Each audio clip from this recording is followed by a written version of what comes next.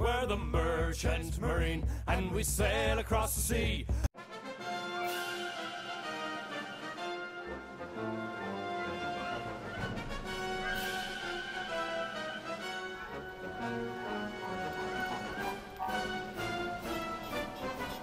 Hello, my name is Eddie Pascale.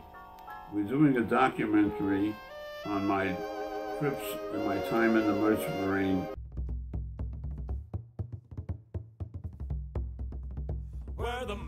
Well, that summer I stayed home most of the time, and I, I probably was working in the Atlantic Bakery, delivering bread and rolls in Brighton Beach and Sheepshead Bay, and Coney Island, like places like Nathan's, and all the restaurants down the strip. That was my job for the summer.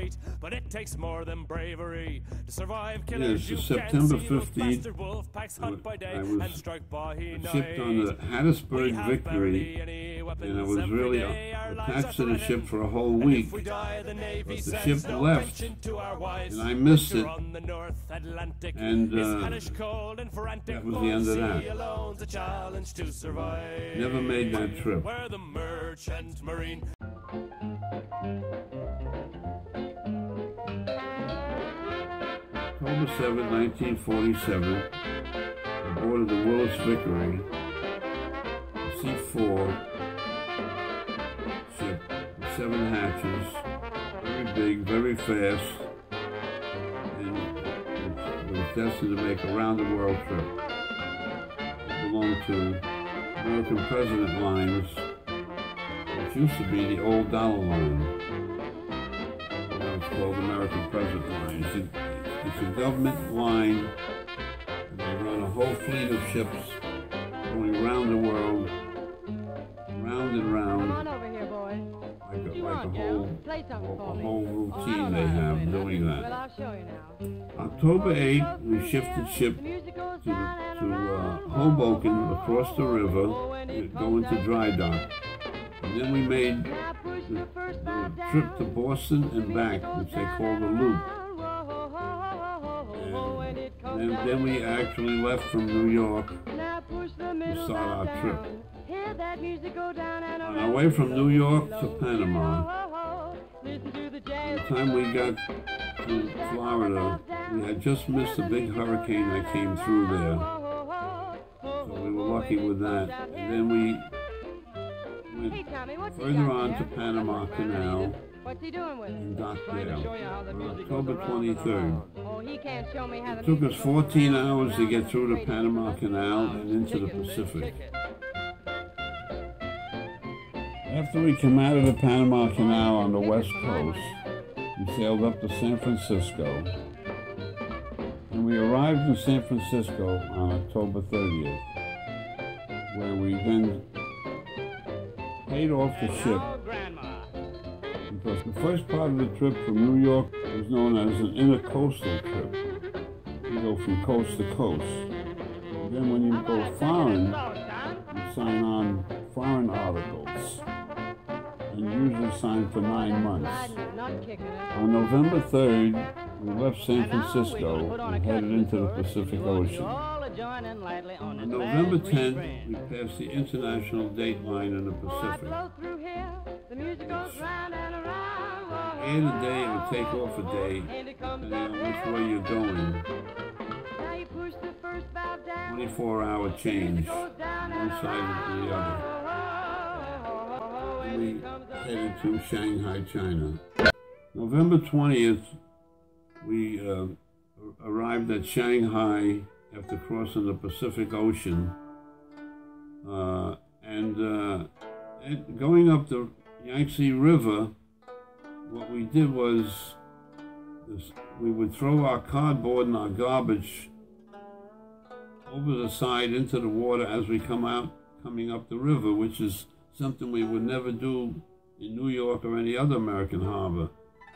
All these guys with their sampans, that's a small boat that, that they row, running around behind the ship ca- trying to grab whatever we threw over. There was tin cans, there was bottles, there was cardboard boxes, wooden things, And so all that trash that we were throwing over, they were fighting to scoop it up as quick as they can. So uh, we thought that was pretty amazing, the, the way they, they do that. They make stuff out of all that garbage that they pick up. They make manufacture things. They, they run alongside the ship and behind the ship, and uh, they, they run the danger of getting sucked in with the propeller. They could get pulled up, pulled into the, on, on, on, with the wake. They get ground up if they're not careful. We, well, November 23rd, we left Shanghai. November 25th, we tied up in Kowloon, which is part of Hong Kong. That's one side of the river, and Hong Kong, the main part of the city, is, is across the bay. And, and that's where the big store is called Hong Kong Mary's. She has this huge department store there in Kowloon where they sell everything and everything was duty free. There's no tax on anything that went in and out of there. And the, the Hong Kong Mary's was a department store. And as you went through the, the building, from one section to another, maybe when they were selling furniture, then they were selling silks, and they always had a tray with bottles of, an assortment bottles of liquor so you could help yourself if you so wanted to have a drink while you were shopping. It was all it was all free to the customers. They could go in there and have and drink as they walked through the store, which was kind of different. We, we didn't do that in our stores over here. It was a sociable kind of thing to do, you know. It was a lot of fun too. That's where I bought my cedar chest. I bought that from Hong Kong Mary's and they, I watched them carve it out and stain it. And when it was finished, they carried it up the gangplank and aboard the ship and put it on my on the ship for me, for which I, I gave them a tip, a, se a separate tip, in addition to paying for it. And by the way, the, the whole cedar chest, the cost of it was $6 American money. How's that? That was a deal, right? And so that's where I bought my cedar chest that I have at home yet. And uh, we had a great time there in Kowloon. And uh, yes, it is one of the best places I've ever been to, and it was cheap. And lots of times when our ships would come into Kowloon, it was very common that when the ship left, there would be two or three of the sailors that missed the ship. So as it turned out, so they would sail shorthanded, and as it turned out, that ship, it was very common that ships came in there and it was such a good place to spend an extra week or two that the guys would deliberately miss the ship because they wanted to stay there a while. We were only there for a day or a day and a half, and at that time, we had broken off relations with China. Mao Zedong decided he wasn't going to do, do business with us anymore, and he didn't. We didn't agree with what he was doing. He was he was communist, and we didn't, and we weren't going to do business with them. So uh, our ship going in and out of there was the last ship for many years until Nixon became president that we we didn't have anything to do with China all that time, and the uh, the couple that worked for the State Department, the U.S. State Department, lived in a house, and had a three-year-old daughter, and they were they were they were officials of the State Department stationed in China, and so at that time they had to leave and go back to the states and instead of flying home or going any other way, they decided to get on our ship and ride back with us, meanwhile stopping in all those different ports, just to see all the things that we get to see. They thought that was a good thing, and it was a good thing for them to do that. On November 28th, we left, and then we went to Manila in the Philippines. And that was another overnight, very short stop. We didn't go ashore there at all. And after Manila, we went when we went through the Malaya states and made all the stops there. We made we stopped in nine ports in six days. That's picking up and dropping off stuff uh, as we went went from place to place. Well, some of the ports were Singapore, Port Swettenham, Penang, and uh, that's the only ones I can remember because a lot of places really didn't have names. They were just in the jungle. We, well, there was one time that we pulled in a river.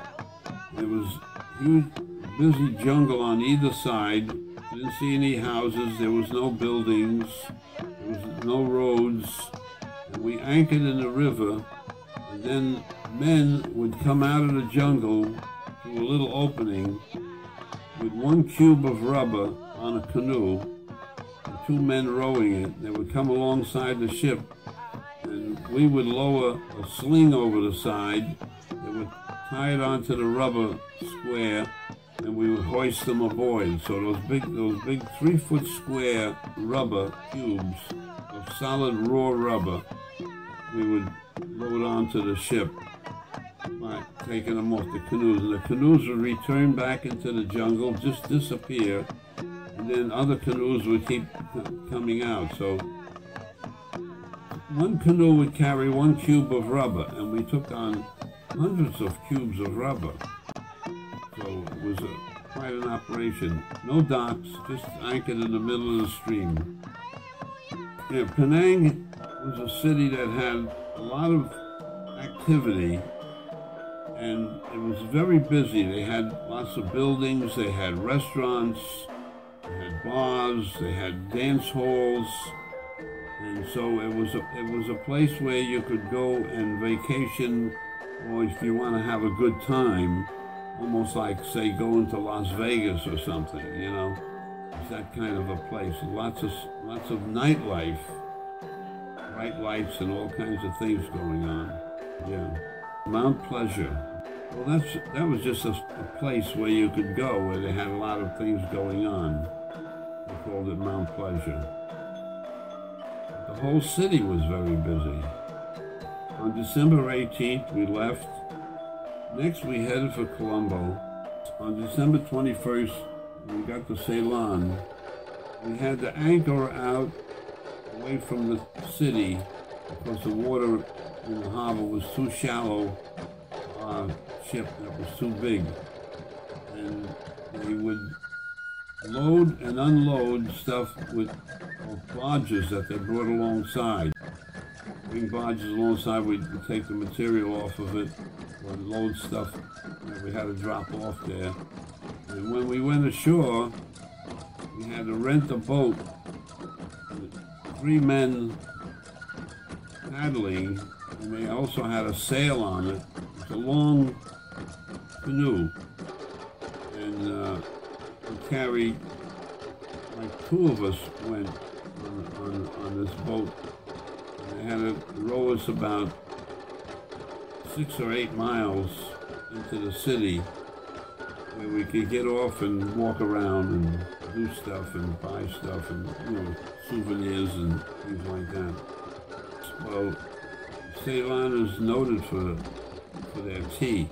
They've always had a reputation. They the best kind of tea over there all these years. Yeah, so of course we drank tea. Everybody drinks tea over there. it's their thing, you know.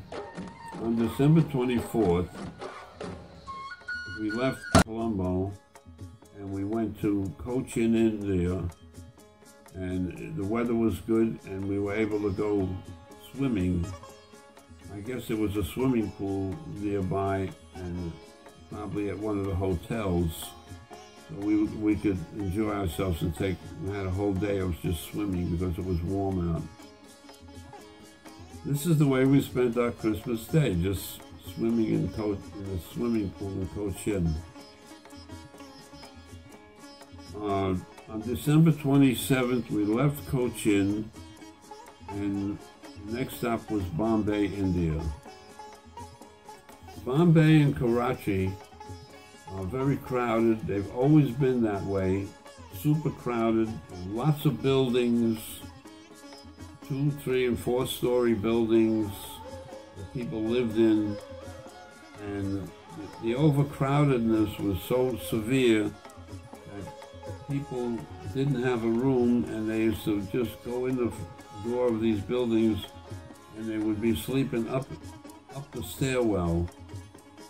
When everybody went to bed, they would be sleeping just to get inside. So they'd be sleeping on the stairwells, sleeping in the foyer where you first came in the door. And then when there was no room, no more room left, then they just slept outside, alongside the building on the street, on the sidewalk. And, and so there were there were bodies lying all over the place on the outside. And people would get up in the morning and go about their business or go to work or do what they were supposed to do. And a certain amount of people would be still lying there because they probably died during the night. So anyway, when you got up in the morning and you walked down the street early, you uh, got to see all the people that wound up laying on the sidewalk if they couldn't get in the hallway, because sometimes they get in the hallway and they die, and they die on the or they die on the street. They're homeless, and what would happen is in the morning they would they had workers like sanitary workers would come around with these two-wheeled big push carts that they were just pushing and they would just come by with the carts and pick them up. Like so much trash. They had to do that every morning. Sanitation people used to come along and pick up all the people. It had to be done. They couldn't leave them there. That's a part of india that's not funny. There's so many homeless people, it's unbelievable. Also, while we were in India, we got to see the big hotel there. It was very luxurious, called the Taj Mahal. And even though all these people were hungry around there, but you could, if you were in the hotel, they had plenty of help, and the service was great and there was plenty of food if you had the money to pay for it. So it was kind of disturbing see all that food in one place, and then meanwhile out out in the in the city, in the streets, people were just starving and homeless. So it was a very poor place to visit. Very down, you know. Well, that's the thing about India is everybody was very poor that you saw walking in the streets, and they were doing a lot of begging because they were so poor. If they saw strangers, especially Americans or anybody, tourists walking around, they would be walking up to them and asking them for money or whatever they could spare. They were always begging primarily. That was their main thing. They would approach you and beg. That it's just unfortunate, but that's what the way it was there. You you have something and they have nothing, so they're going they're begging, hoping that you give them a, a coin or something in return. You know, because they was so they were so in need all the time, constantly. So it was a very difficult place to be the people were very friendly, and well, yeah, they were friendly and nice, but the, that that was about as far as it went, because the friendly and nice, and then the begging went with it, because they're so poor and so hungry. That's the first thing that, that strikes you when you go there, you know. It's the poverty.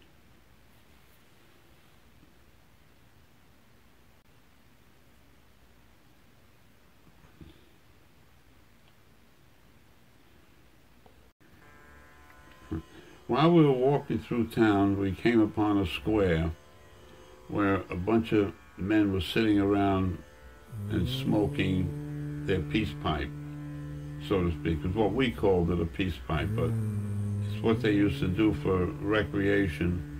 At certain times of the day, they would they would gather and talk and pass the pipe around in a circle.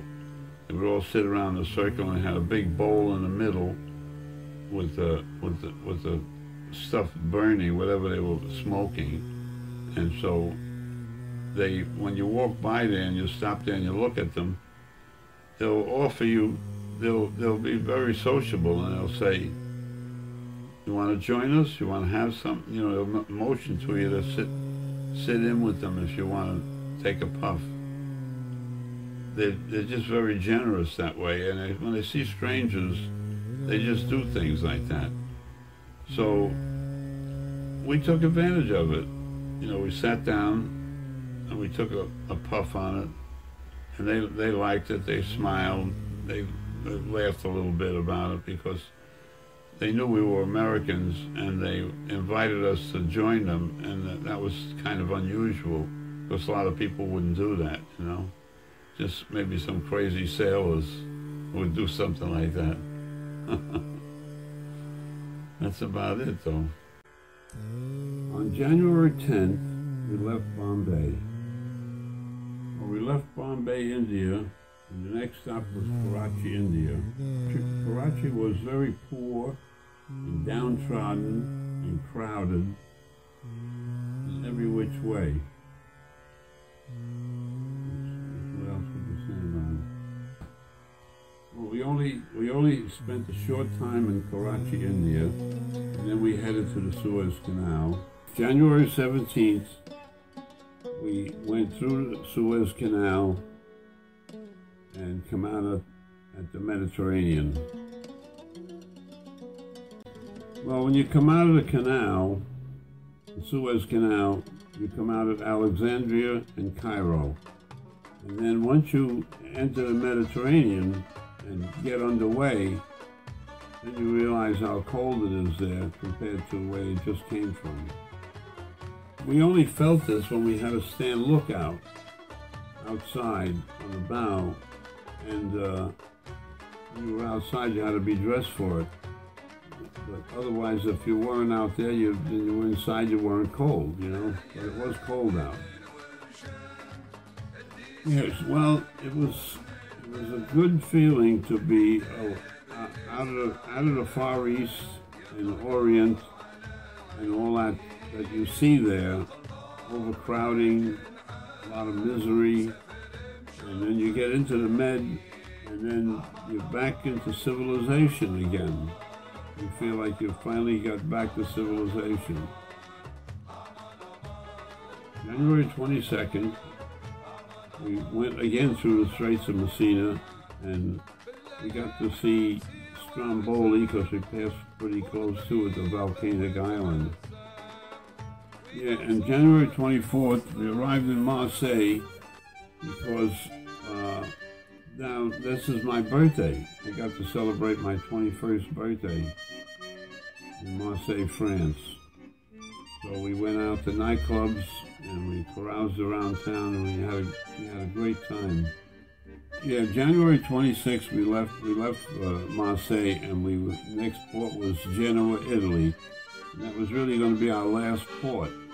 And uh, when we were coming into the city, we were still out at sea and we were still going full speed ahead. And uh, we would be tying up in about an hour. So we get we get called up to get out of bed and get dressed an hour before you're tying up, so you could get dressed and maybe have a cup of coffee. And so as soon as we got got the call to get up to stand by fore and aft, the captain came on this loudspeaker and was yelling over and over, "Deck gang, hit the deck! Deck gang, hit the deck!" And we thought, what is he? What is he yelling about? I looked out the porthole, and it was no, we were nowhere near land, and we were still steaming along. But the reason why he was yelling was because he wanted us out on deck to launch the lifeboats because there was somebody in the in the water. The ship in front of us ran ran over a fishing boat that was crossing the bay and cut it in half, and the five people in the boat wound up in the water, and uh, they were all around in the water like in a circle.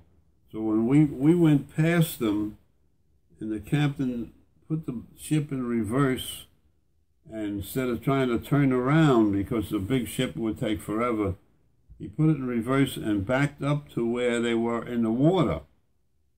And while he was doing that, we we ran up on deck to see what he wanted us up there for, and then he told us over the loudspeaker that there were people in the water and would launch the boat. So we had to launch one of the lifeboats. So we jumped in the lifeboat and started to lower it and try to start the motor, and the motor wouldn't start. So we had to run over to the other side of the ship and jump in the other lifeboat, uncover it, and start the motor. The motor started, so we lowered the lifeboat into the water. And when we were aboard the ship, we could look out and we could see there was big waves. It was kind of kind of rough water that that morning, and we could see the, the heads bobbing around in a circle. There were five people in the water, but once we got down in the water, with the waves and all, we we barely could see them. We couldn't see them until we were up on top, and they were because they, they, were up going up and down. We were going up and down, and uh, we we sailed the, the lifeboat over where they were, and we we went to the first first one, and we threw threw them a life jacket and we threw life rings. And we went around in a circle and threw everybody a life ring or a life jacket. And when we came back to the first one, he was gone. He went under. And so what happened was when their boat got run over and they got ran alongside the ship, they they, they hit the propeller and they got pulled under and the, so a couple of them got they got hit with the propeller. They were they were they were really hurt bad, and they were bleeding. And then all with all their clothes on and being in the water, you couldn't even tell that. So we picked up three of them out of five, and two lived out of the three. And one of the guys that was that was was survived. Uh, he had a son with him. He lost his son it was a very sad thing. We, we brought them back, and we the one guy was unconscious from in the water because he was partially drowned, and we, we laid him down on a bench as we brought the boat back, and we picked it up, hauled it back up onto the ship, and we, we gave him artificial respiration while we were bobbing around in the boat and bringing up and trying to revive him.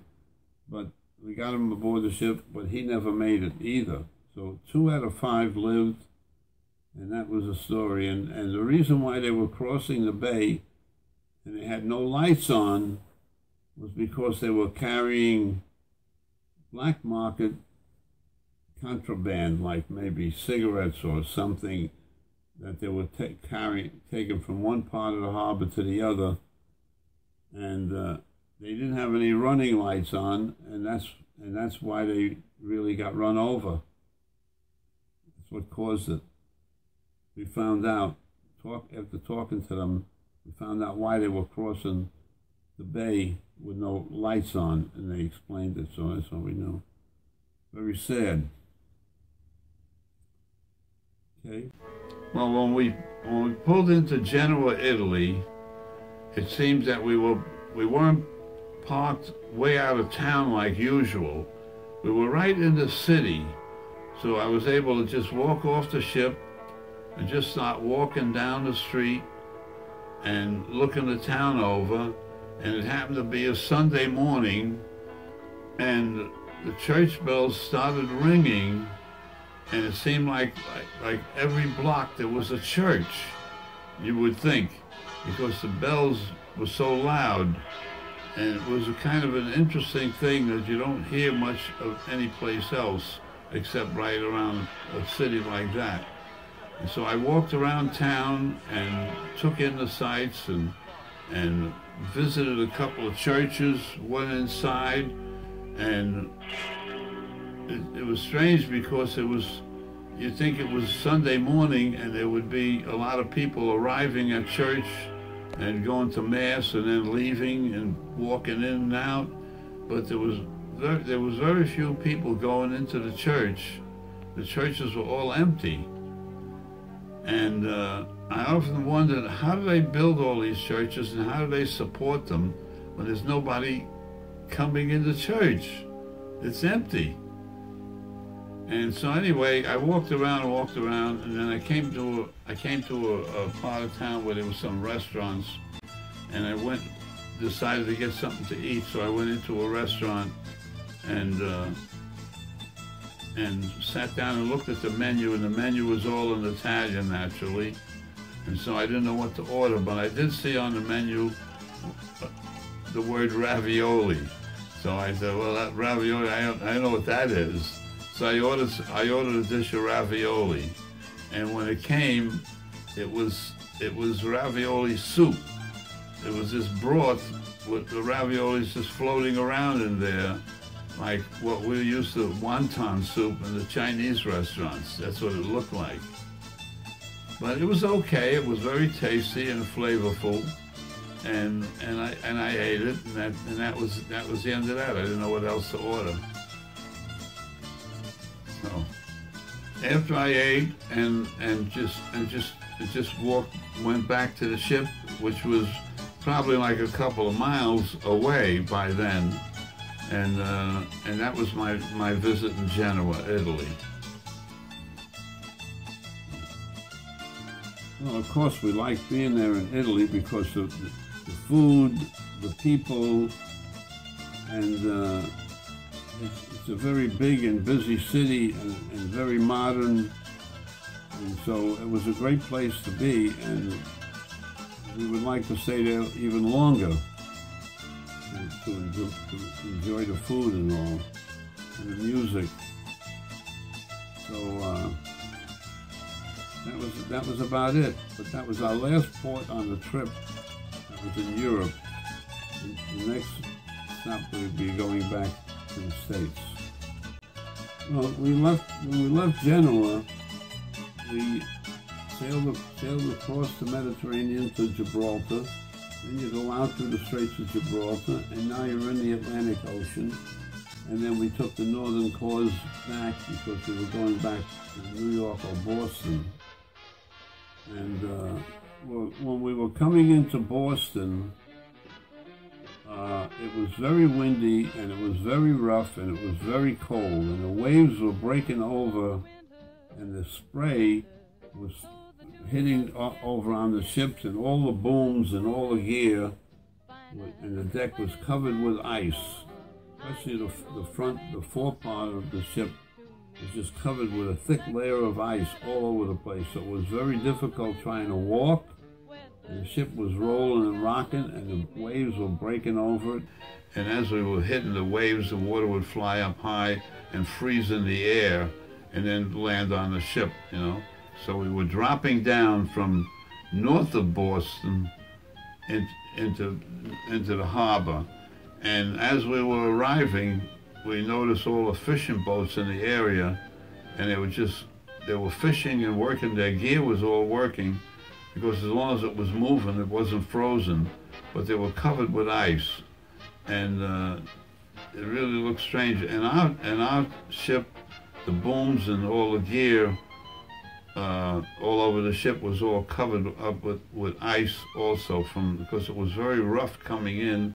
So when we came into Boston, uh, before we could set the gear, the booms and all, so that they would work, we had to unfreeze all the, the winches and cables that were covered up with ice.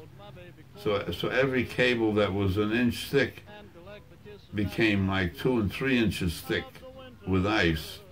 So we had to break, chop the ice off and get all the winches moving so that they could work, work, work the, the winches and unload cargo and stuff.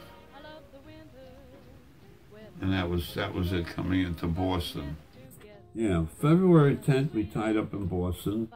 By February 12th now we're in New York. We docked in Staten Island that was our, the end of our trip, and we, we, we paid off. There was a total of 36 ports, American and, and foreign, Far East, Pacific, Atlantic, Mediterranean, 30, 36 ports altogether.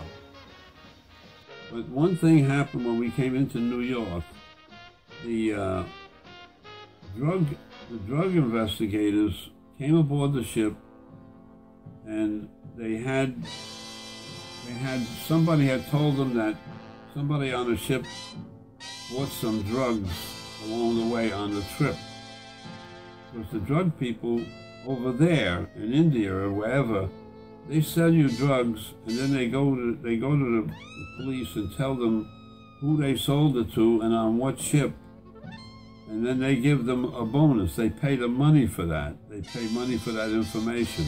That's why when the ship came into Staten Island and we docked, they came aboard the ship and started searching all over the ship, going in every room looking for drugs because they knew it was on there. Because they were told it was on there. They were looking, it was just a question of finding it. So they did find it in one of the rooms in the deck department outside of the ship. One of the rooms had the overhead vent taken out and they put the, the, the stuff up there but then there was another another catch of it that was on a shelf by a bunk. They, they took matches and the matches came in a cart a package of paper wooden matches in little boxes they removed all the matches put the drugs, the powder in the, in the boxes and, and, and rewrapped it up and glued it back together again and put it up on a shelf or somebody's bunk. And so when when they were in the room checking everything, one of the guys picked up this box and he shook it. Instead of hearing the, the wooden things rattling, it was quiet. He thought, what? How come it's not, you know, he's shaking it and, it's, and there's no sound coming out of it like a shaker should make. So they opened it up and then that's where they found it.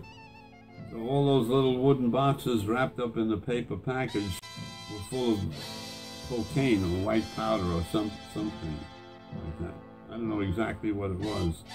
So then anyway, they found how, what they told how much the, they sold to the people so when they found it, they knew they found the whole thing. So they wasted their time, you know. That's what they were looking for all over the ship. They knew there was narcotics on there, and they were they, they uh, just kept looking till they found it. So we still don't know who. We never knew who who packaged up that stuff, who bought it and, and hid it on that shelf. Once, once everybody paid off, then he would go there and, and pick up the drugs. But they found it, and they never knew who left, left it there. So nobody was caught with the drugs, because they didn't have it on them. They just found it, and that was that was basically the end of the case. They just took the drugs off the ship, and that was it. And they all left. They found what they were looking for. Nobody from the ship was arrested or charged because they had no idea who, who left it there. And that was the end of that part. And that was the end of the trip, and we paid off, and we went home, and I had to, uh, I had to uh, carry, I don't know how I got my cedar chest I, I some I some I somehow managed to I don't know how I managed to pick it up and, and get it get it brought to where I was. I, th I think I might have made arrangements for, for it to be uh, uh, delivered by one of these, uh, you know, people at the delivery companies that deliver packages and boxes and stuff. I think I had it delivered from there. I don't remember carrying it and I still have the cedar chest.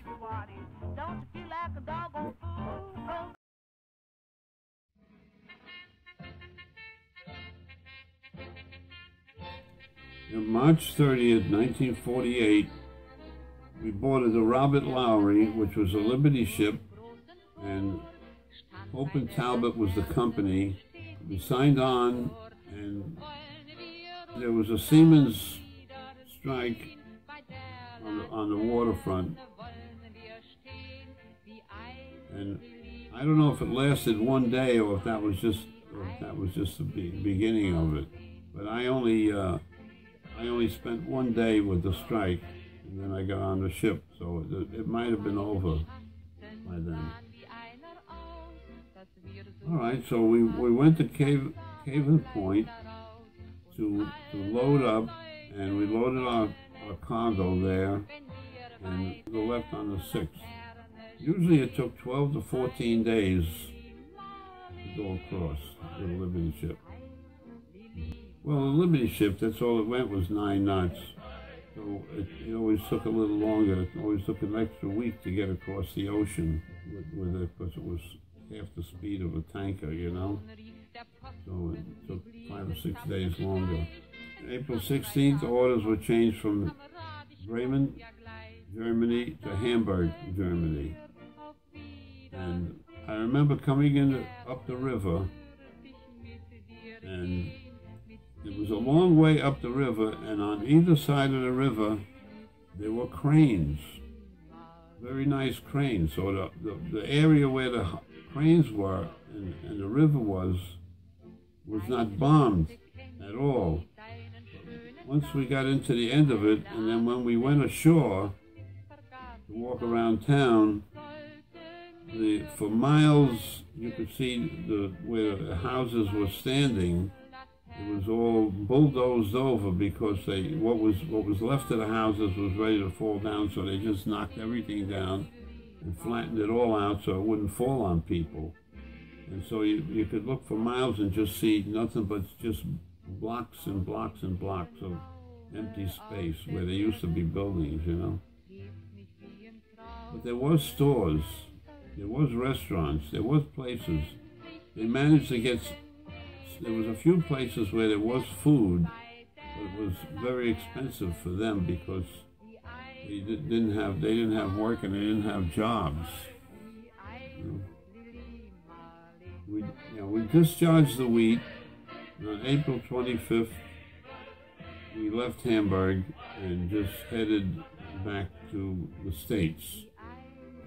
After being home for a while and not working, I needed to get a job. I needed to make money, so I went down to the Union Hall because I was still I was still belonged to the union there, and I and I got signed on a ship going to Hawaii, and uh, I boarded the General Victory ship, and then we left New York, sailed down the coast, past Florida, into the Panama Canal, went through the canal, as usual, and went into the Pacific, sailed up to the Hawaiian Islands. Well, the first place we docked was right near Waikiki Beach, which was uh, the Royal, where the Royal Hawaiian Hotel was. At that time, that was the one main big hotel where everybody went to Hawaii. That's where they went. The movie stars and all went there. The, the beautiful hotel. And it's not like today they have a million hotels there. But so uh, that was a nice place to be. There was plenty of bars. Honolulu was nice. There was uh, beautiful beaches, and I went. So I went to the beaches, and I didn't do much of, of, of anything else but that. Just walked around and went to the beaches and went swimming a lot. And then we went from island to island in the Hawaiians because we, we picked up and we dropped off stuff. We went. We, we did the whole group of Hawaiian islands in two weeks. That was a long time to be any any one place, but that's the way it was. Because this ship this ship was partially a refrigerated ship. We were carrying a lot of fresh fruits and vegetables on that ship. There was lots. Of, they had they had a refrigeration engineer who took care of all the refrigeration stuff. And then we came back the same way we went. We just came back, and went through the canal again, and up and up to the New York. Yeah, that was not that was not a, special trip, except that we we spent all that time in the Hawaiian Islands, you know.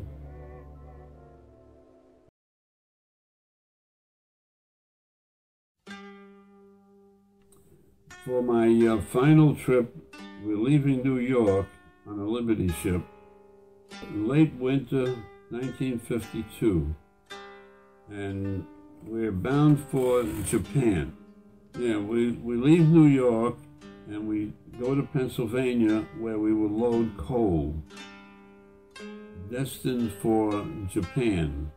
And we sail down the coast past Florida, going through the Panama Canal, and this will be my very last time going through the Panama Canal. But then we get out into the Pacific, and then we sail 35 days to Japan. And we get to Himeji, Japan, our destination.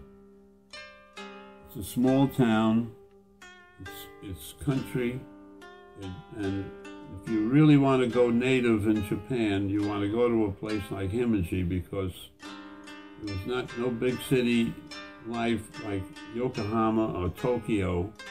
This was real primitive, very backward, and original Japanese, everything. So then we, we they unloaded the coal onto barges. They would bring these uh, smaller barges alongside, and we would load the coal onto the barge. And they had like two two young boys were working on the barge. When the when the barge was full of coal and they closed up the hatches, uh, they cleaned off the deck where, where the coal dust and particles fell all over the ship. They would take a wooden bucket with a rope attached to it, throw it down into the water, scoop water up out of the creek, and they would use the bucket to wash the, the deck off. They didn't have a hose, you know, automatically have a hose to wash it down. So they did it with buckets, bucket after bucket. And the weather was nice, and then when they get through all their cleaning, they they just get in the water and then clean the, the, the coal dust off themselves like that. So I could see that these guys were used to being on a boat and used to being in the water all the time. So I went down the gangplank and I, I dived in off the gangplank and swam under the barge and came up on the other side. And, and these Japanese boys uh, got a kick out of that because, you know, I was playing around with them. And they, they had a lot of fun. So we, we just swam together for a while there. And they were very happy and smiling away. But it was amazing how friendly the, the people were in Japan. And I have to say, when we went into town, we rode into town from where the ship was docked, and we rode in a rickshaw. But the rickshaw was was pulled by a, by a bicycle, a bicycle in the front, and the rickshaw was all closed in with with uh, these plastic curtains because when we went into town it was raining and the rickshaw boy was pedaling away and he got he got one on one part he got by the road and the rain was coming down hard and there was holes in the road in the dirt and he got stuck and he and he couldn't he couldn't get the thing going because he was stuck in the mud hole. And we had to get out of the rickshaw in the rain and move the thing because he was stuck in the hole. And then we got back in again and now we're all wet. And he pedaled and pedaled and he took us into town. And we went to a regular geisha house which is nothing but a restaurant and uh, a show place. So you sit down, you sit, you, you get a table, you sit down, and so as soon as you sit down, a couple of girls will come over, hostesses come over and sit with you, and you know, and pour the drinks for you, and they act like your waitress. And then while you're sitting there and you order food and you have your drinks and the uh, on they have a stage at one end and uh, and you and one girl comes out and she starts doing a dance and she's in a beautiful costume and by the time she gets through with her dance which takes about 10 minutes then she does a striptease and and then the, the girls one girl would get off stage and another girl would come on it was continuous entertainment every time a girl come up on the stage she had a different costume on and she would dance all over the stage with the music. The music was great too. And then she would do a striptease. No, not naked, but just down to their underwear, like. And then each each so the show was continuous, and the same girls that are up there dancing are the same girls that sit down at the table and, and help you with your food and serve it and everything, you know. So that's what that's that's a real geisha house. But the girls don't go out with anybody. They're kept very strict. They're just dancers and entertainers, and that's as far as it goes. But they're all beautiful girls. You can't get over how beautiful they are. And uh, it was really nice, the girls singing and dancing with costumes on, and, and the food was great, the service was terrific. Well, after the show, then we went looking for a place to stay the night, a hotel. And so there was there was hotels around, and we went into this hotel and we got introduced to what they call the mama san. There's there's usually a woman who handles the renting the rooms and cleaning them, and and has all and she she handles all the, the maid service. So you talk to the mama san and you get yourself a room. And oh, by the way, the hotel had rooms, it only had a first and a second floor.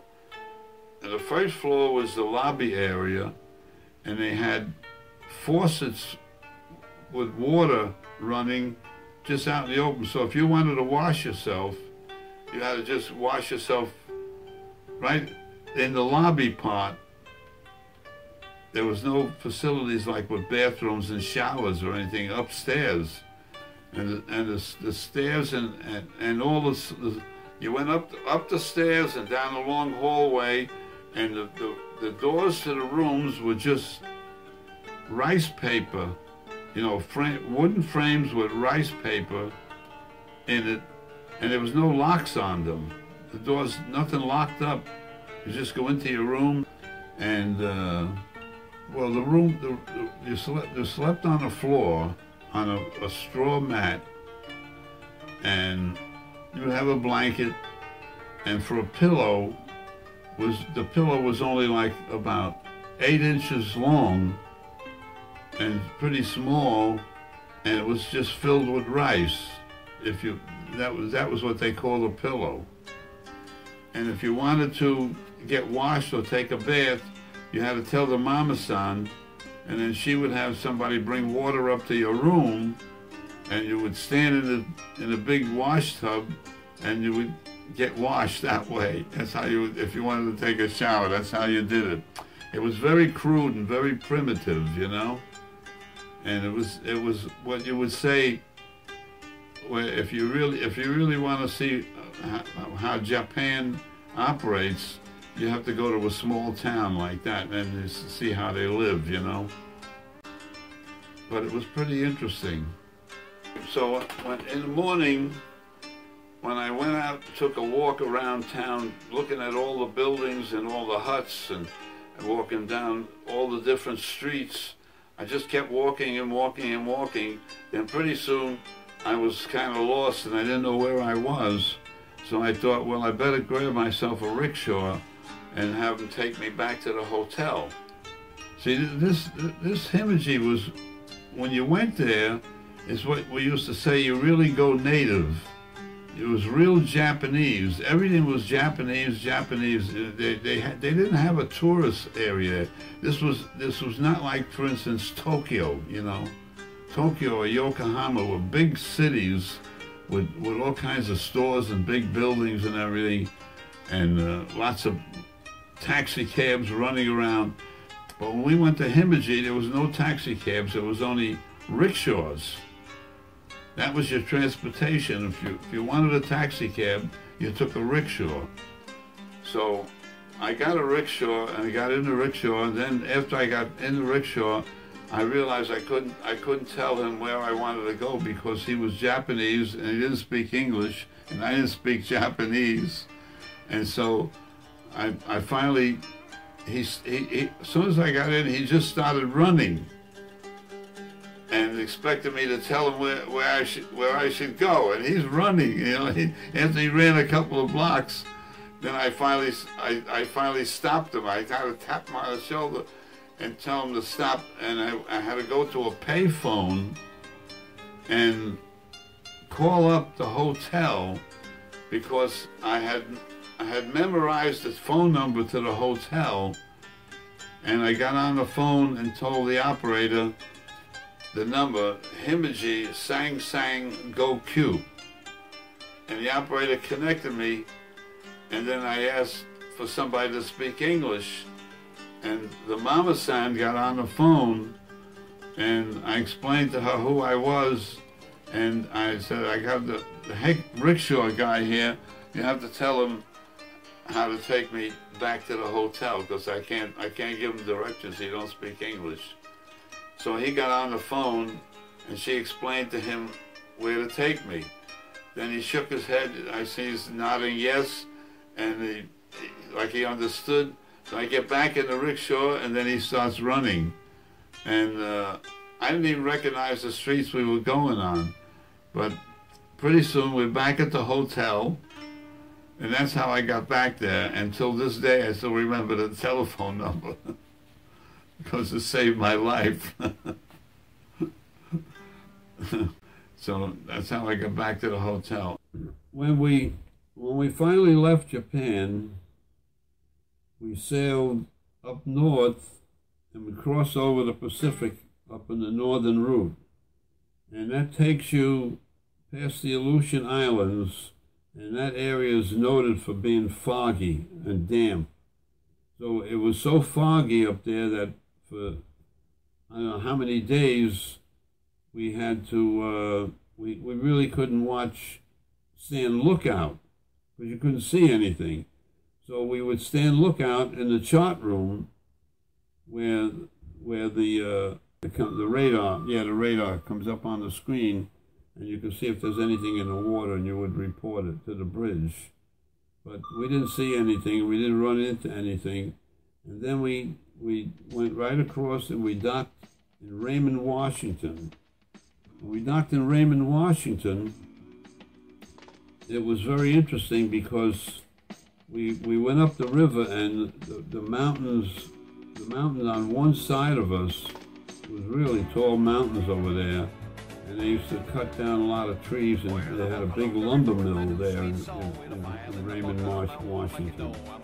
And they cut down so many trees, and they cut so much sawdust, and they accumulate all the sawdust, and they burn the sawdust, and the sawdust runs the whole mill, all the electric, everything, the lights and all, the machines, the saws, is all run by the, the, energy that's produced by the sawdust that they when they cut these trees into boards. And, uh, and in fact, they not only supply the whole mill with electric, they supply the whole town with electric that sawdust. Since it's there, it would only be wasted otherwise, you know. That's a good thing about that place. And everybody in the town, all the guys, all work in the mill. That's what they do. That's, that's their main piece of work they have over there.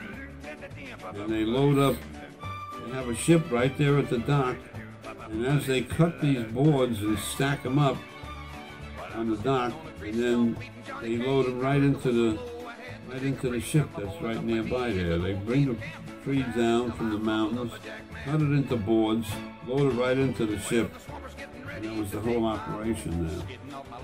Yeah, so we decided we wouldn't take a train home from there, and we weren't going to ship out. We could have went to San Francisco or someplace or LA, and we could have took another took another ship. But we didn't want to do that. We wanted to go home to New York. So we went in, we, we got paid off the ship, and we got into this cab that was waiting there. And he told, we, we started to drive into town. He asked us where we going. We said, well, we're just going into town, and and we have to look for a, a place where, where we can buy a car. We want to buy a car because we're going to drive.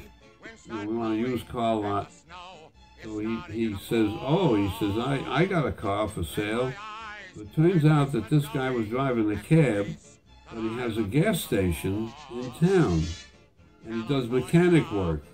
And he had a car there that he that he got in, got it very cheap probably, and he put a new motor in it because the motor was shot. He put a motor in it. This was a 1942 Dodge Coupe, fluid drive, and it was a black car.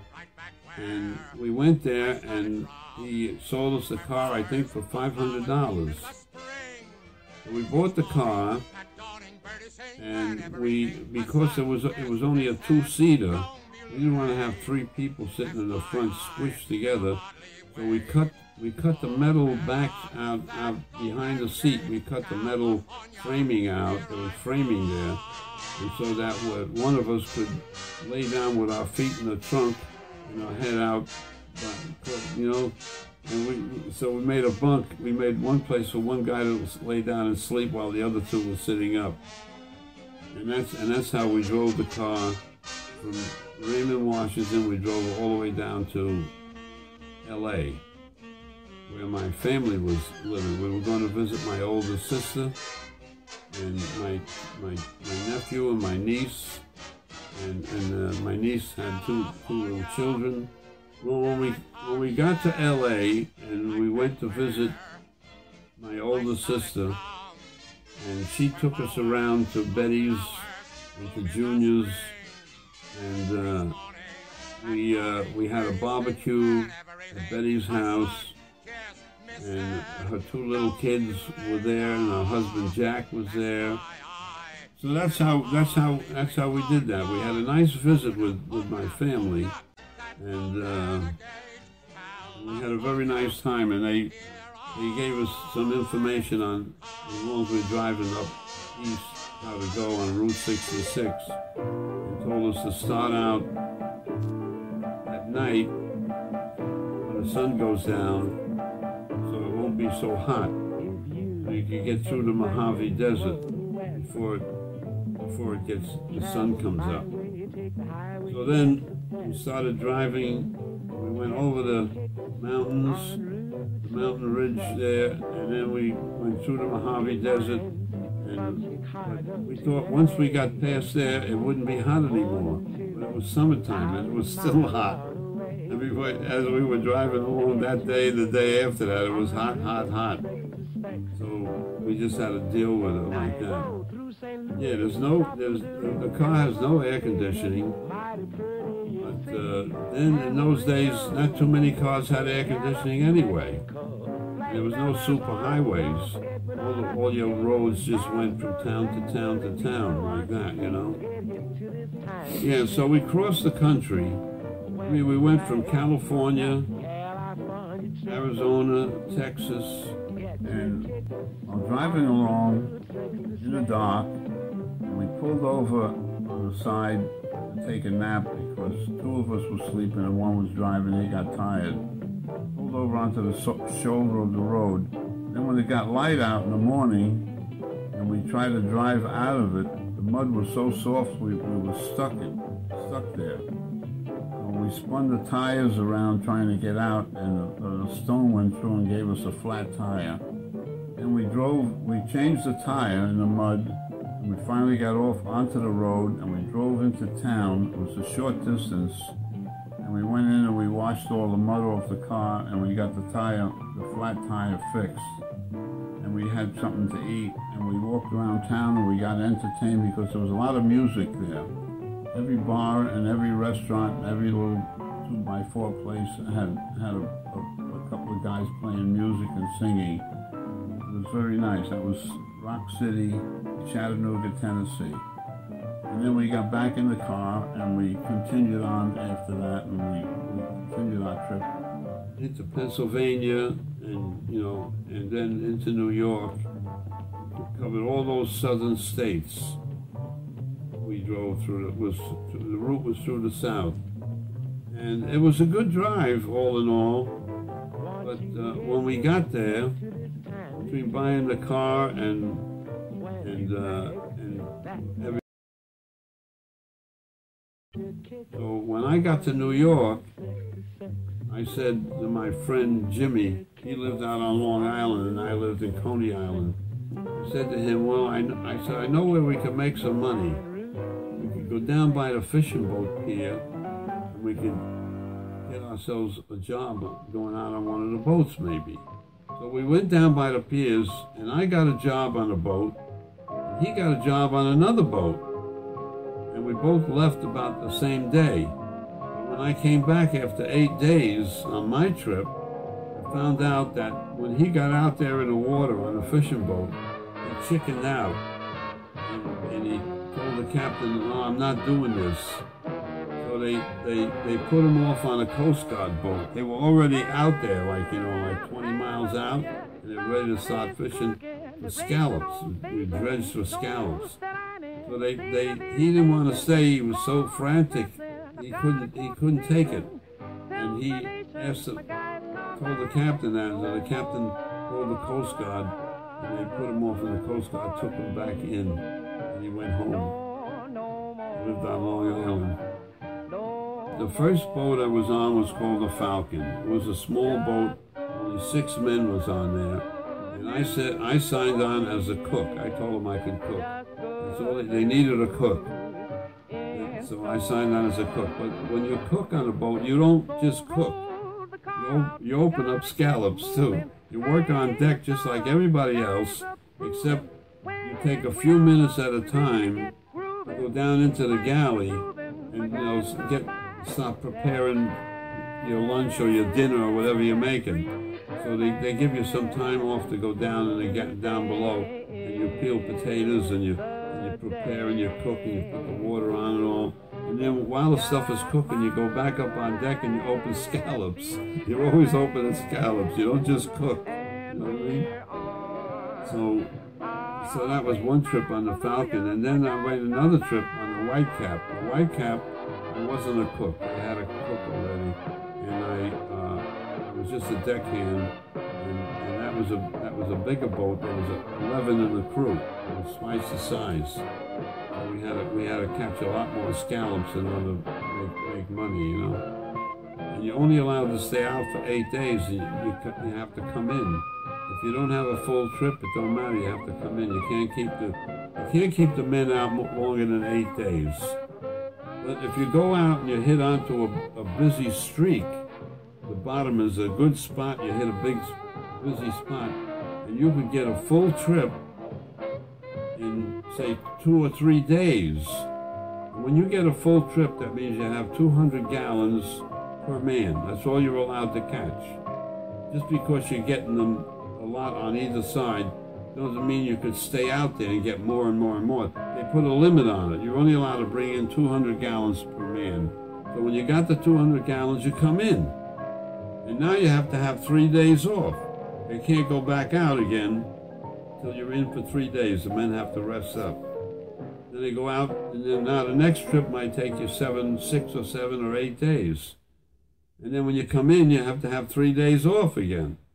And that's that's the rules. They set rules like that so the men don't get worked to death, and they don't overfish the area. You know, they put a limit on how much you can catch. Isn't that interesting, though?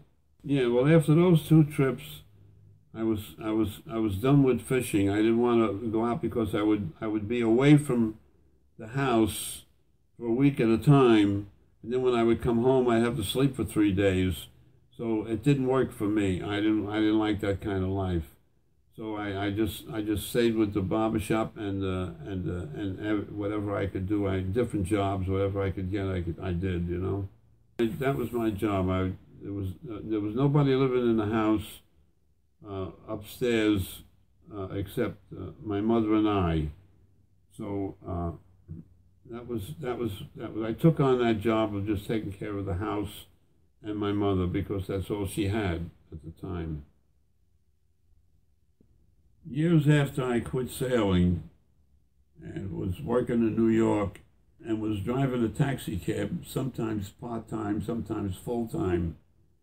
And I pulled up in front of the Waldorf Astoria because there were people waiting there for taxis and picked up an Oriental gentleman. And when he got in my cab, we just began, he started asking me things about New York, and I started get, answering his questions. And then I tried to guess where he was from. So I said he was, you, I think you're Japanese. And then he said, yes, that's right. He was Japanese. And, and I asked him where he was from in Japan because I told him that I had been to, Japan. And when he asked me where, and I told him where I, where I went to Himeji, a small town in Himeji, his face lit up because he was so surprised, because it is a very small place, and that's where he was brought up and raised in Himeji, Japan. And then he happens to be a, a very um, important official from the Japanese, you know, country. And he, that's what he was doing. And he was at the Waldorf. They were having a big meeting there. And the Japanese businessmen were all there. And he, he worked for a bank in Japan. And so he was a very wealthy man. And then he was pleased and he told me that if, when I if I come to Japan again to come and visit him, he invited me to visit him. I'm sure that was that was very nice of him. It was just one of those one of those conversations that you have that's unusual, and uh, just just by talking to people, you can find out lots of things about them. And he was he was very interested and he was very happy to hear that I had been to his small town because nobody who goes there. Nobody goes to Himeji. Go to Tokyo, someplace like that, but then, you know, little small waterfront village where he came from. Nobody goes there on a, on a visit because it was not a, it's not a tourist attraction. So that was it, you know, for them.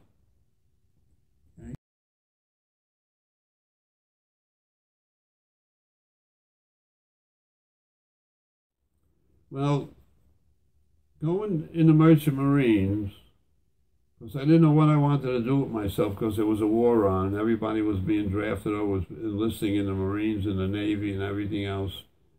So I I decided to go, go into the Merchant Marine to try it out because I wanted to see if I liked it or not. And I could quit if I wanted to quit because it was a civilian job, it wasn't service and uh, I had my training on the tugboats and all, so I was all set. So now, being in the Merchant Marine was good for me because I got to see a lot of places. I was on different ships. I met a lot of people, a lot of the shipmates. I went from ship to ship. You know, we kept changing each trip. And uh, so it was very educational. It was interesting and I really liked it. I really enjoyed traveling. In fact, I, I wanted to quit, I wanted to keep sailing, but I couldn't keep sailing because it, it got to a point where I had to stay home and take care of the house and my mother. It was one of those things. I, I couldn't uh, go out to sea anymore, although I liked it. But uh, I felt I traveled enough, I had enough of it anyway and made up my mind to stay home and be a landlubber. and that was and that was and that was it for that. Okay? We're built exactly the same in different parts of the country, but they're all built to the same plan, same uh, blueprints, you know. so that they were identical. When you got from one ship to the other, it was always the same. Yep, this is another, just another Liberty ship. It's got the same colors. Still has the gun tubs on there, and it's exactly the same as it was during the war. And this ship, I understand they took this ship and they sailed this ship over to uh, France one time. They took a crew on here and sailed it over to France, to Normandy, just, just as a practice run. They volunteered, all, all the sailors on the ship were retired and volunteers. They took the ship to Normandy Is that why that flag is on there? and brought it back. Is that the French flag there? Is that why it's on? I don't know what that flag is. I think that's the French flag. It's red, white, and. Yeah. They had a full mast, and a main mast, then it was the bridge, and then it was two masts in the back. It was five hatches. Five hatches where they loaded stuff from. And see the see the the sliding uh, what do you call them? The uh, oh gosh the rafts. See those emergency rafts? They, they, they, you release them and they just slide into the water, and then you jump in the water and get in there. The ship got torpedoed, that's what you would get off on those on those rafts. Because they were faster than the you couldn't get the lifeboats launched. You you got you put the rafts off. That's how most of them got off when their ship got torpedoed with the rafts. By today's standard, this is a small ship. This was it was big then, but now it's small because they're much bigger now. Let's go aboard. Let's board it now. All right.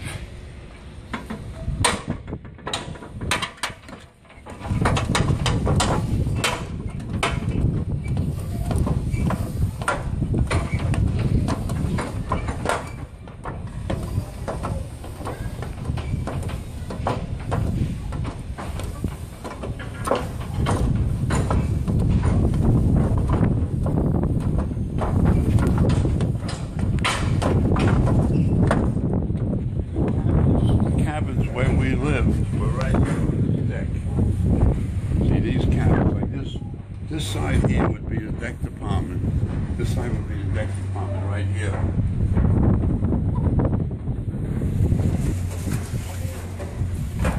And this, this is what they call the heads. The toilets.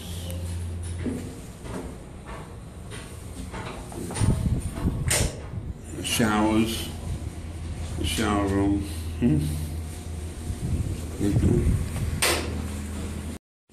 They say four seamen, but there was there was usually only three on each watch. There's four bunks, but they only used three. Yeah, I might have been on this room, so this would be one of these rooms would be mine on the side here. There's three rooms here would be the deck department.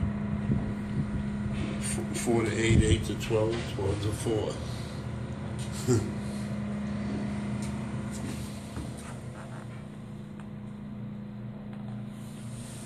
They're all made with a kick-out panel, just in case the ship got hit and it got twisted, and the doors would jam, and you'd be, you couldn't open or close it, because yours would jam in the frame if it twisted.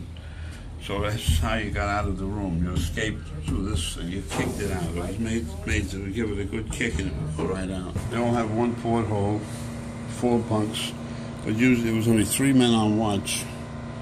There was never four people on each watch. This would be the carpenter and the bosun mate. The bosun was sort of like the foreman for the, th- for the three watches, the deckhands that lived on this side. The bosun carpenter door. On this side of the ship, this was the deck department.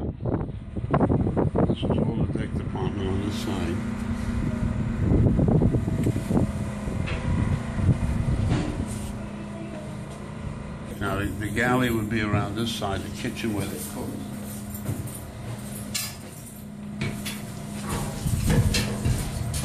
See, look at that. That's the, that's the whole kitchen area. This would be the, the mess hall for the engine department, the engine crew.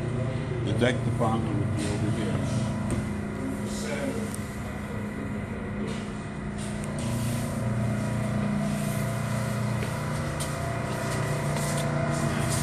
This mess hall would be the deck department.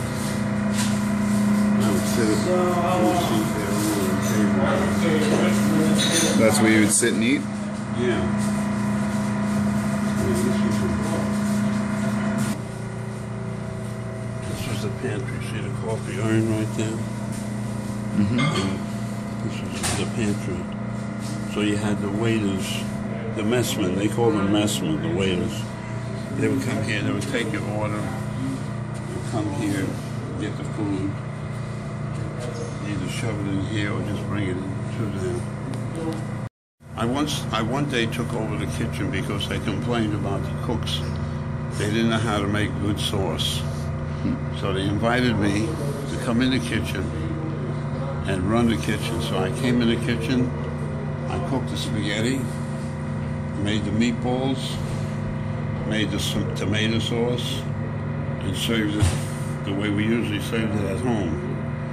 And they didn't know how to do that. They just didn't know how to make Italian sauce. So I made a whole big pot of sauce, and everybody loved it. They had like two helpings. Everybody had extra helping when they finished their plate of spaghetti. Put the spaghetti, sprinkle the cheese on there, and then pour the sauce over it. And then after the mozzarella cheese and the sauce, then you put the grated cheese on there, and I topped it off. That that's what made it so good. And they, they weren't familiar with that, that style of cooking. So when I complained that I didn't like the way they made the spaghetti, they said, well, why don't you come in the kitchen and do it? They invited me in. I said, okay, I'll come there. So I went in and I, I was telling everybody what to do. Put the water on, boil the water, put the spaghetti on, make, make the sauce early so it would cook for two hours and was ready for lunchtime. So I was in charge of the, the whole galley. It's really not a big galley for a ship this size, but there was only 38 people on the ship. That's all it was. So everybody was happy. It was a big success. They loved it. But I couldn't do it every day. I mean, I had my job to do, so, and they had their job to do, so it was just a one-time thing, you know, like an experiment. When I complained and complained, the the chief cook said, "Well, then why don't you come in and do it mm-hmm. and see how it comes?" So, so I, so that was that was a good thing. It was a good experience. And I was the youngest guy on the ship. My nickname was Junior because I was only 17 at the time. So uh, yeah, I was I was the youngest crewman on that sh- on that first ship. That was the John G. Carlisle. Only two bunks in here, so there was, there was probably two uh, two firemen, probably two firemen or two oilers, or an oiler and a fireman. Usually on watch, there's an oiler, there's a fireman, there's an engineer. This is probably an oiler and a fireman on. This is what you call battening down the hatches. Eh? When the hatch, hatch, these are the hatch boards. See this? These are all these boards that fit on here between the beams. This this stuff here, so you pick them up like this. And then you, you put the hatch covers on and you you nail these things in so you know out in the ocean your wind's blowing and the waves coming over it all stays put. That's what they call battening down the hatches. That's a Jacob's ladder. If somebody comes alongside with a boat and they have to come aboard, and you're out in the middle of nowhere, in the middle of the ocean or the bay, you throw this ladder over. You throw it over. See this tied here. It's tied right here. You throw that over and then they climb up. That's, that's why that sits there like that.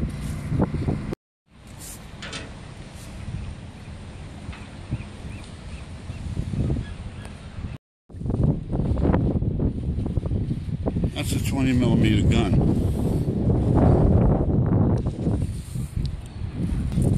And this, this was called a five inch 50. That's a big grain, you know? Big shell. Flag in the stern. And when you pull into a country port, you put their flag up on the mainmast, which is the forward of the house. The tallest one, that's what you put their mast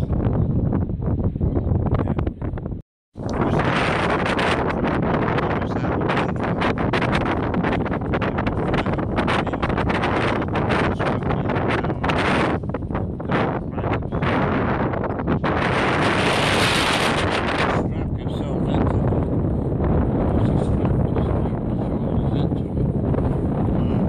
You could move it around.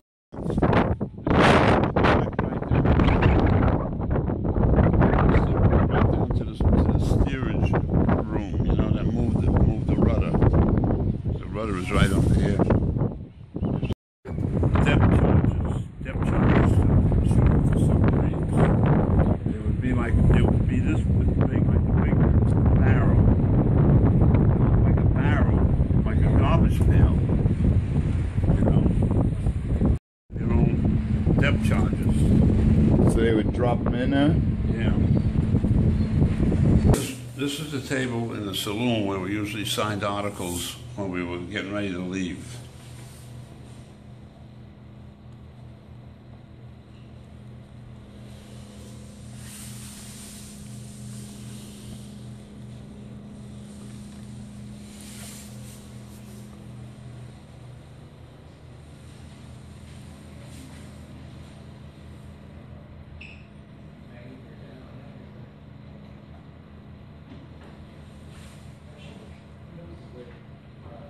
That's all.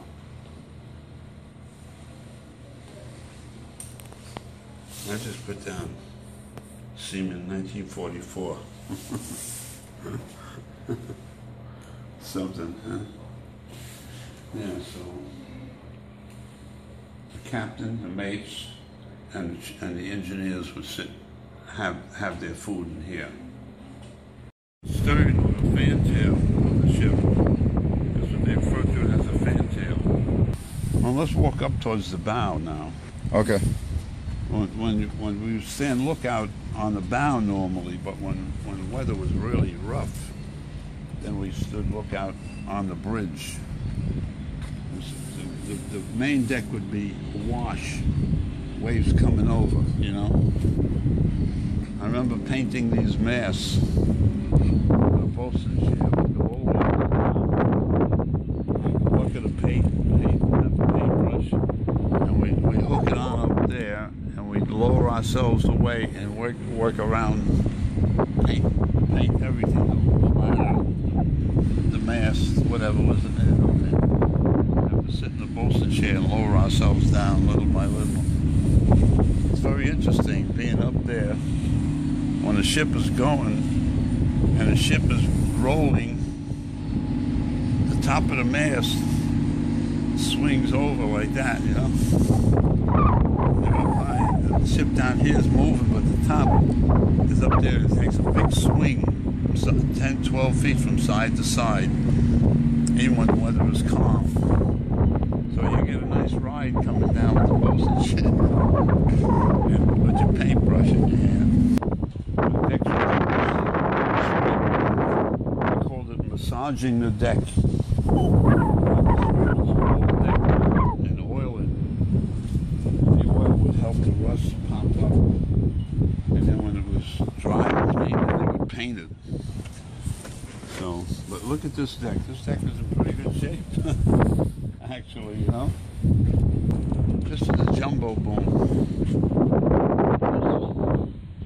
This is the biggest hatch on the ship. This is where they, anything very large into this hatch because the boom is here to handle it. The other booms only got up to five tons.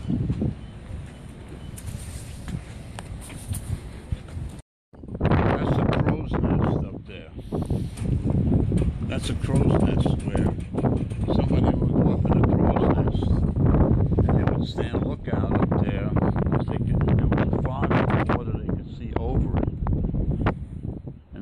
support anything, but actually they put that crow's nest on there, but I don't remember anybody ever going up there and using it. We never, I never went to the crow's nest at all. When they built these ships, they put the crow's nest on there because they, years ago they used to have a crow's nest on all ships. Sailors would have to climb up there and then position themselves on the crow's nest. Whatever they could see. But they didn't. if you go back and forth that way, the other ones out there, This is the anchor windlass. This is the anchor. See the anchor chain and everything. This is the anchor windlass, and the anchor locker is down below. Up at the bow. This this was the telephone that we were up at the bow. If we spotted anything, we would call the bridge, but there was a telephone in here. When we spotted something up front, we would ring the bell loud so they could hear it from the bridge.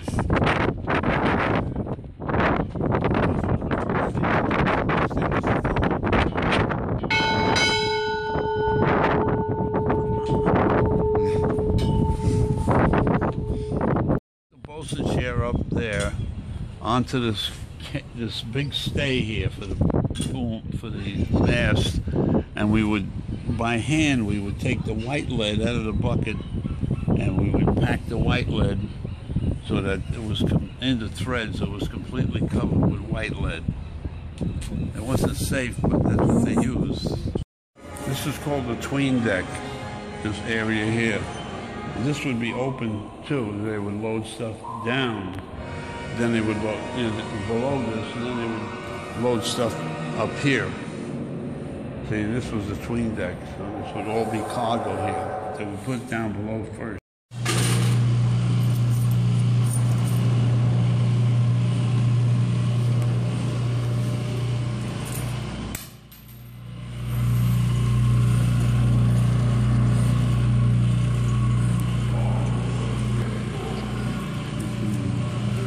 Now we're on the boat deck, one deck up from the main deck. Called the deck because the lifeboats are here to be launched from this spot. It's receiver, It's receiver, This is the Radio Shack. Yeah, this this is the Radio Shack. This way the radio operator would be here, getting messages and sending messages from here. This is the captain's room, and if I gave the captain a haircut, I would give him a haircut right in that room there. Usually, usually whoever was getting a haircut, they would get the haircut in their room, and they would have to sweep up their hair. So you would cut everybody's hair? Yes, to give haircuts on the ship. I was, I was, I was officially the, the ship's barber, but not, not so much officially. It was just something that we did, and uh, they were glad to have somebody on board that could cut hair. It was a deckhand's job. Whoever was on watch, and you were coming into a port, to put to get the proper flag and put it up on the mainmast up forward. That, that was our job to do that. Yeah, and, and of course I did it a number of times if it happened to be coming in on my watch while I was on watch. So then, then I, would, I would have the opportunity to do that. This is called the Flying Bridge. It's a bridge above the main wheelhouse. And they have this part here where you steer from. Usually this was an enclosure. Would have a, a, a wooden house, which we call the dog house. And we would steer from up here because there was a better view from up here. You can see you from below. But in bad weather, we would steer from the wheelhouse down below. The weather was bad. And this is the famous Liberty ship, which they built thousands of. And they all looked the same and worked the same, same size, same shape, same weight, same everything, same color. And they won the war. That's what they did. The nicest feeling when you finally came into the dock and you're tied up and you saw that gangplank come into place and you knew that was your that was your way off the ship finally. That was perfect. Somebody rang. Over the sea, Let's go, men. We're shoving right off, we're shoving right off again. Nobody knows where or when. We're shoving right off, we're shoving right off again. It may be Shanghai. Farewell and goodbye. Sally and Sue, don't be blue. We're shoving right off and shoving right off again. We'll be shoving right off for home, shoving right off for home, shoving right off for home again.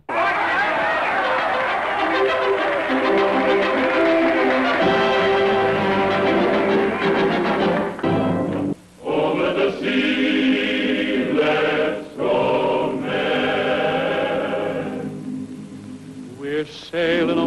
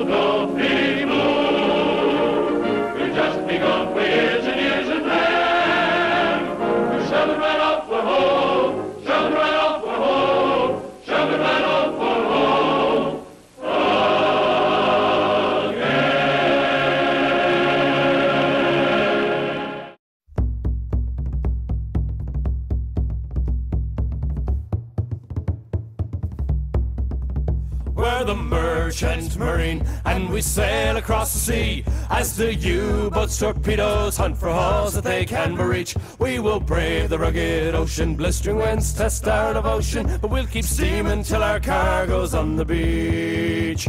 We arrived in Halifax with all we owned upon our backs, for we knew a brave man's duty was to labour for the fight. But it takes more than bravery to survive killers you can't see. Those bastard wolf packs hunt by day and strike by night. We have barely any weapons every day, our lives are threatened. And if we die, the Navy sends no pension to our wives. Winter on the North Atlantic is hellish cold and frantic, for the sea alone's a challenge to survive. We're the merchant marine, and we sail across the sea. As the U-boats, torpedoes hunt for hulls that they can reach, we will brave the rugged ocean, blistering winds test our devotion, but we'll keep steaming till our cargo's on the beach. In the war of Hitler's visions, the Allies would get no provisions. Total war was his decision. Sinking ships not built to fight. The finest liners of our day are now painted battle grey, but the two small guns they mounted caused no fright. Now it's true we had protection, two destroyers in our section, three frigates, two corvettes to shepherd 50 through the waves. But one destroyer's now debris, both corvettes lost under the sea, and our sister ships an underwater grave. We're the merchant marine, and we sail across the sea as the U-boats, torpedoes hunt for hulls that they can reach. We will brave the rugged ocean, blistering winds test our devotion, but we'll keep steaming till our cargo's on the beach. Now we mourn our fallen brothers, pray to God there'll be no others, blown to bits by diving demons deep below.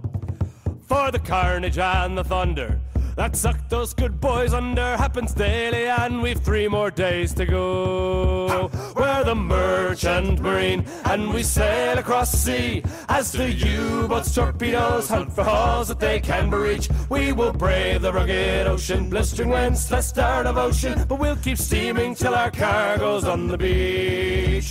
We're the merchant marine, and we sail across the sea as the U-boats, torpedoes hunt for hulls that they can reach. We will brave the rugged ocean, blistering winds to start of ocean, but we'll keep steaming till our cargo's on the beach. Yes, we'll keep steaming till our cargo's on the beach.